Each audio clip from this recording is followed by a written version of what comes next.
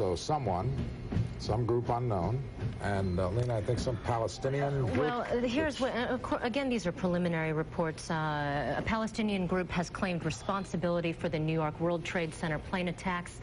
Abu Dhabi Television reported it received a call from the Democratic Front for the Liberation of Palestine, uh, claiming responsibility for crashing two planes into the buildings.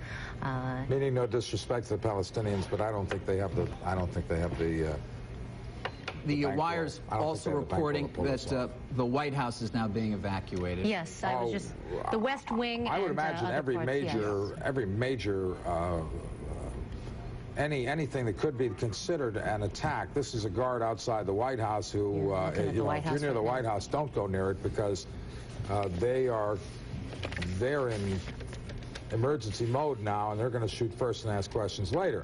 Uh, in New York, you have an attack on the World Trade Center. Two planes deliberately crashed in, one about 18 minutes apart. The first one crashed into the tower that you're looking at on the right.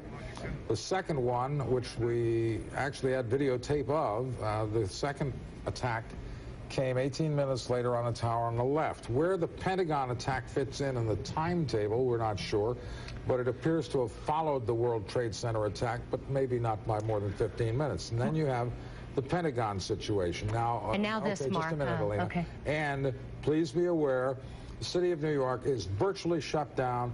You cannot get into the city of New York right now from the New Jersey side. The tunnels and the bridge are closed because they could be tunnel, they could be uh, uh, targets of an attack as well. Alina, I'm sorry. Go ahead. And That's okay. Uh, we're just getting this in. Uh, this seems to be a, uh, a separate incident. Uh, smoke is seen rising from the center of Washington, uh, according to uh, television reports. Uh, so that uh, that could be in addition to what is going on at the Pentagon. Of course, we want to remind you that the West Wing of the White House and now the Capitol building have both been evacuated.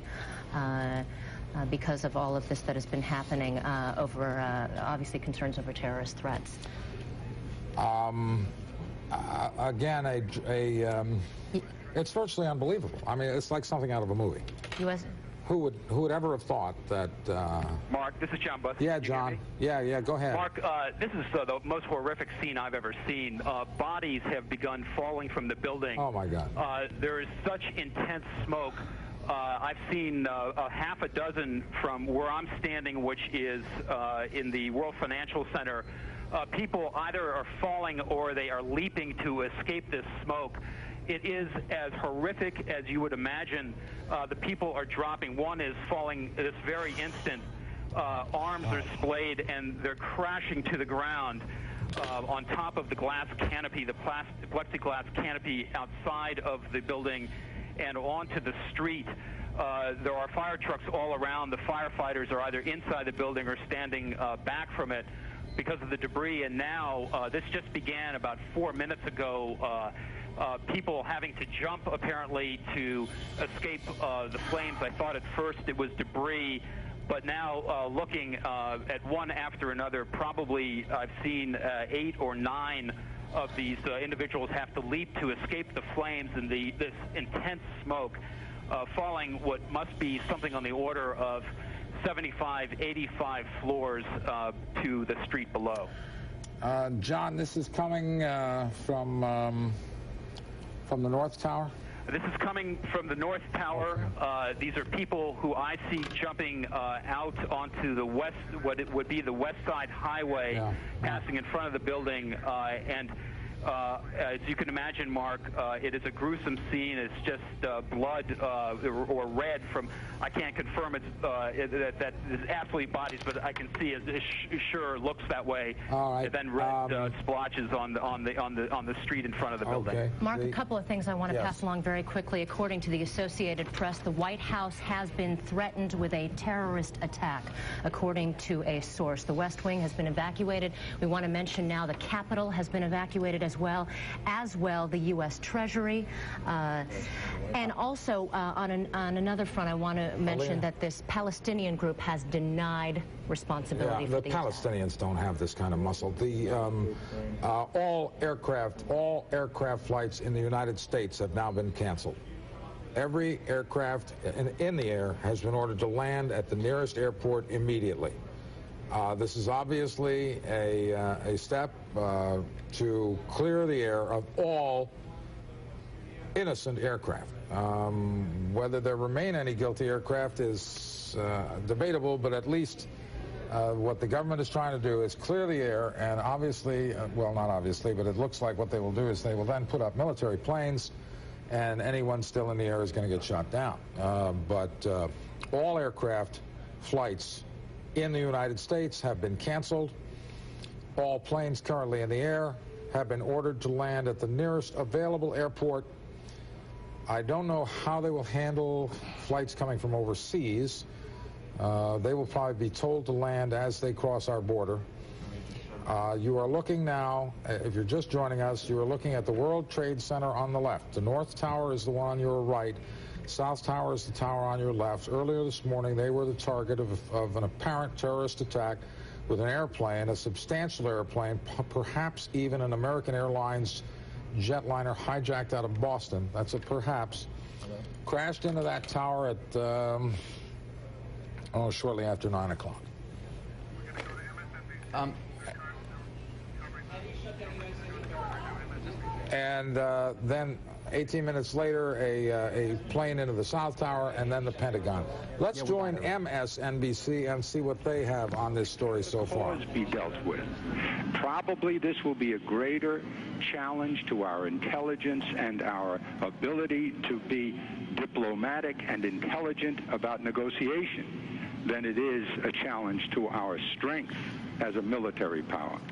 The FAA is telling us that the planes that are already in the air will continue to their destinations, but all other planes in aerospace above the United States have been grounded. Uh, Governor Cuomo, I understand um, that uh, your successor, uh, George Pataki, is in New York City right now. Um, there are a number of state offices, aren't there, Governor, in the, oh, yes, in the Twin my Towers? Office my office, and and uh, I I think the governor moved his office out of the World Trade Center, Governor Pataki, but my office was there, and I think there are still some some other offices there, but not as many as there were when I was governor.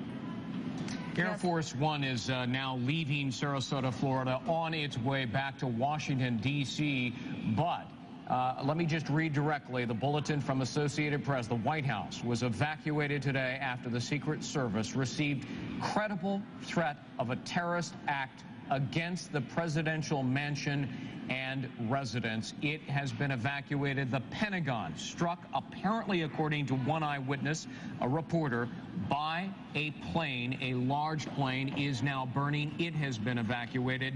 Two planes uh, deliberately struck, it appears, the World Trade Center, which still burns at this hour. New York City has essentially been shut down.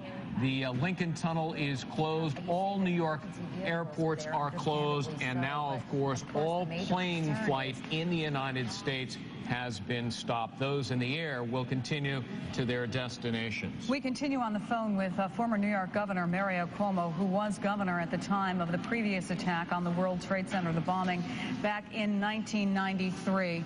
Uh, if you can hold on for just one second, we want to listen in, Governor, to Jim Miklaszewski, uh, who is reporting from the, the area of the Pentagon. The Pentagon, again, has been evacuated. The second floor buckled upward, and then the third floor above him actually collapsed downward.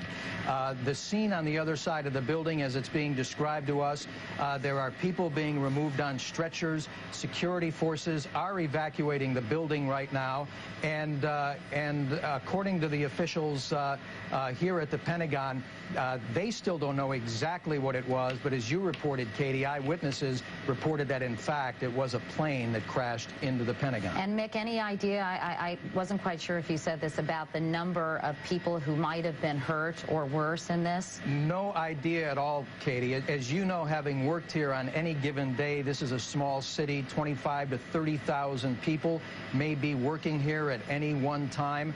Uh, that portion of the Pentagon, by the way, uh, had just been remodeled and just reopened. Uh, if the crash had occurred just a few months ago, uh, that section of the Pentagon would have been uh, virtually empty. Plenty. Uh, but at this time of day, uh, early morning uh, or mid-morning, the Pentagon's very busy. Uh, it's impossible to say uh, how many how many casualties there may be. but there have been a, a large number of people cited.